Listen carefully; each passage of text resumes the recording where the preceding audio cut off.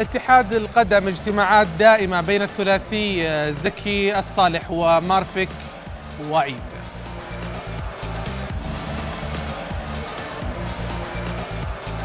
والدنيا مولعة نار الانضباط تنهي موسم الاتحاد المحلي بالعقوبات وإدارة الاتي توقف صبيان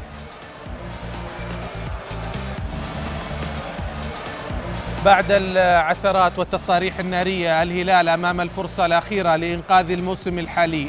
الفوز على تراكتور مطلب والأهلي يبحث عن بطاقة التأهل الآسيوية.